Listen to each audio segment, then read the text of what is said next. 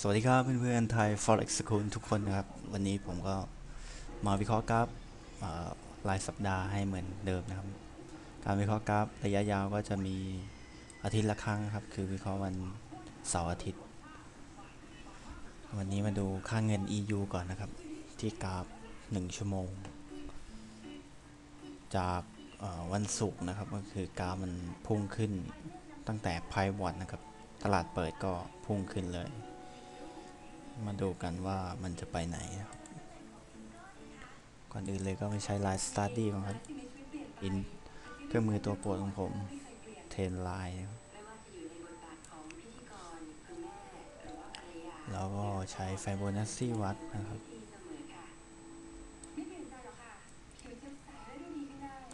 นี้เราวัดย้อนหลังนะครับ เพื่อให้ดูเป้าหมายของราคา ตรงนี้คือจุดสูงสุดของอวันพฤหัสนะครับ แล้วก็ตรงนี้เป็นจุดต่ำสุดของวันพุธ ราคาสวิงขึ้นไป แล้วก็มันปรับตัวลงมานะครับ ปรับตัวอยู่แถวเนี้ยนะครับ ตั้งแต่จุดสูงสุดถึงไพวอตแล้วพอวันศุกร์ตลาดเปิดมามันพุ่งขึ้น ก็เป้าหมาย ถ้าเราคิดว่ามันลงมาปรับฐานที่ ประมาณ 61.8 แล้ว เราก็ต้องคิดครับว่าต่อไปมันก็คงจะไปที่ 161.8 เป้าหมายที่ 161.8 ก็คือ 1.4165 นะครับ แล้วราคามันก็ทะลุมา มาหนึ่งตอนนี้ก็อยู่ที่ 1.4178 มาดูกันว่าเป้าหมายต่อไปมันจะไปไหน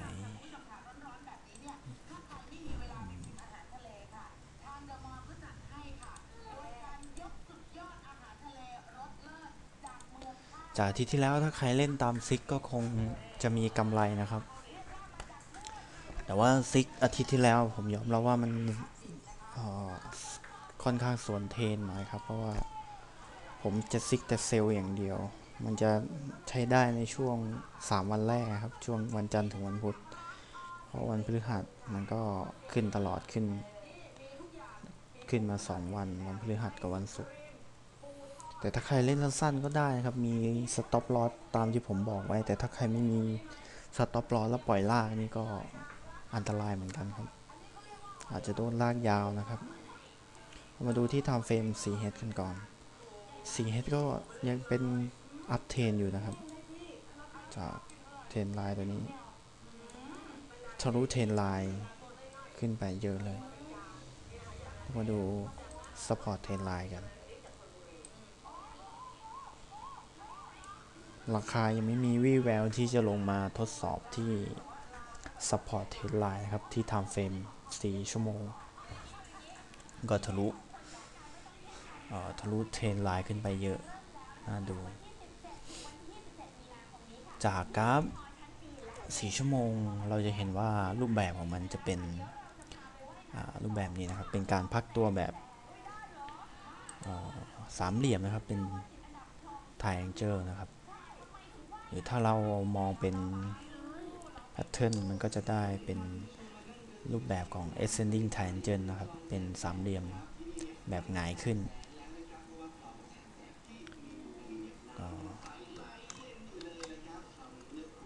ดูนะครับทีนี้ uptrend แล้วก็พักตัว แล้วก็ขึ้นไปอีก แล้วก็ลงมาพักตัวครับ แล้วก็ขึ้นมา trend line ตรงนี้ครับ จุดที่มันเป็น trend line ที่เป็น resistance เทรนไลน์ราคามันจะทดสอบอยู่นานนะครับ ก่อนที่มันจะพุ่งขึ้น พอมันถ้ามันสามารถเบรกเอา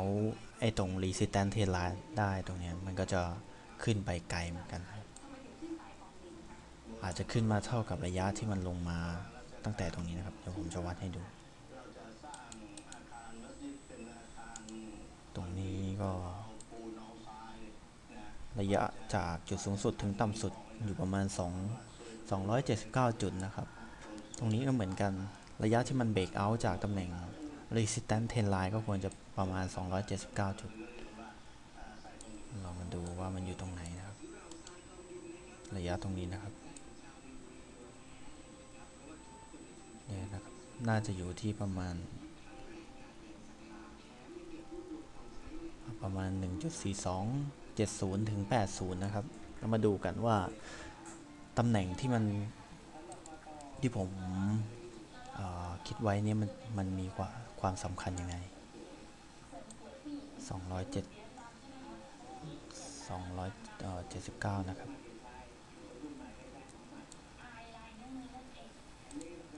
ก็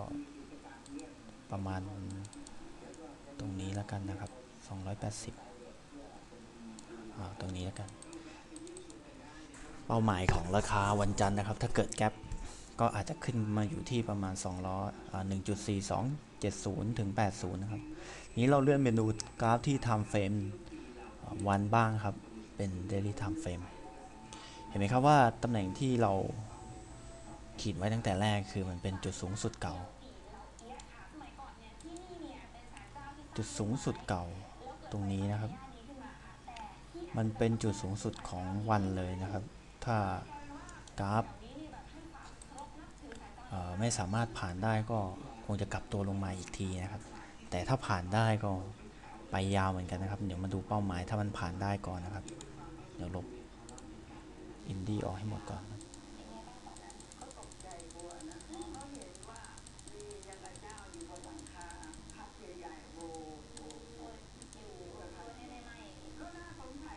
เครื่องมือของผมที่ใช้ในการวิเคราะห์กราฟก็มีไม่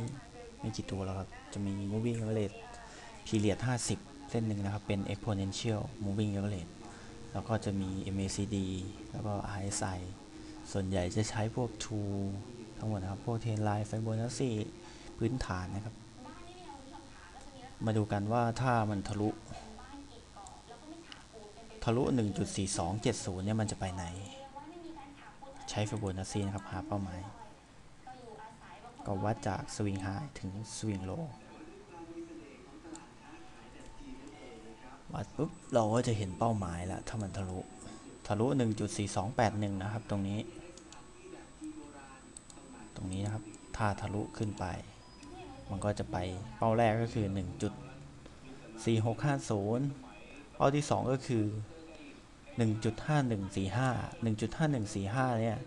เป็นตำแหน่งไฟโบนัสซี่161.8 แล้วก็เป็นจุดสูงสุดเก่าของราคานะครับที่มันเคยมาทำ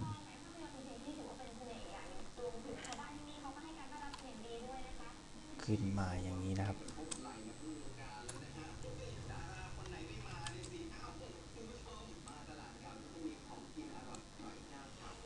ถ้าทะลุนะครับก็ยาวเลย จากตำแหน่ง 1.4281 ถึง 1.46 46 558 นะครับ ก็ประมาณ 400 กว่าจุด แล้วก็จาก 1.46 ถึง 1.51 ก็ประมาณ 500 นะครับ ถ้ามันทะลุเราก็รอจังหวะนะครับ แล้วก็บายขึ้น แต่ถ้าไม่ทะลุมีแท่งเทียนกลับตัวเหมือนลักษณะนี้นะครับ เป็นแท่งเทียนกลับตัวแบบนี้ ก็ short มันลงเลย ดูกันว่าเป้าหมายถ้าราคาไม่ผ่านนะครับ มันจะไปไหน เราใช้ trend line นะครับ วัดเป็นวัด trend line ของวันเลย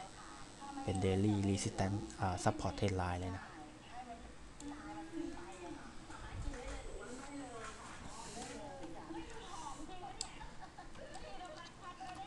ถ้าขึ้นไปตรงนี้นะครับ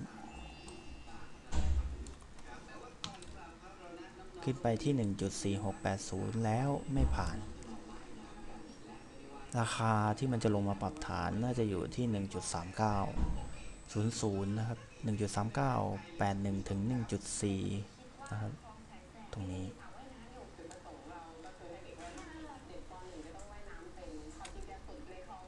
ถ้ามันมันไม่ทะลุเอ่อ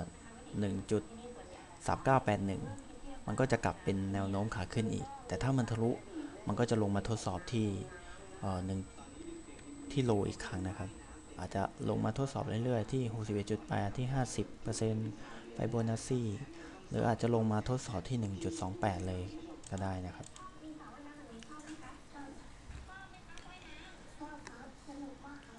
เรากลับมาดูที่กราฟ 1 ชั่วโมงกันต่อ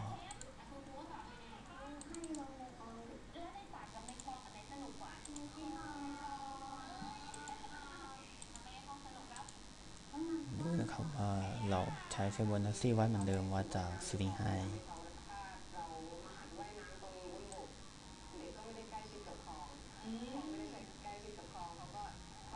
ตรงนี้นะครับ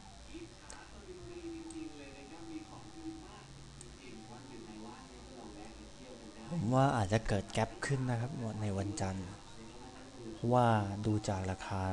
ตอนวันศุกร์นะครับก่อนตลาดปิดมันพุ่งขึ้นเยอะเลย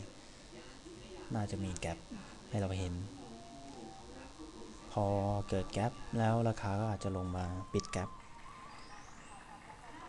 เหมือนกับทุกครั้งที่มันเคยทำนะครับ คือมันจะเกิดแกลบก่อนแล้วก็มันจะลงมาปิดแกลบอย่างนี้นะครับ แล้วก็มันอาจจะลงมาปิดแกลบที่ตรงนี้ ก่อนที่มันจะขึ้นไปนะครับ ถ้ามันขึ้นนะครับ แต่ถ้ามันสามารถปิดแกลบได้แล้วลงต่อ ก็อาจจะลงมาทดสอบตรงนี้อีกครั้งหนึ่ง 1.38 นะครับ 1.3866 ลงมาแถวๆ support trend line นะครับ ที่เราคิดไว้ที่ time frame 1 วันนะครับ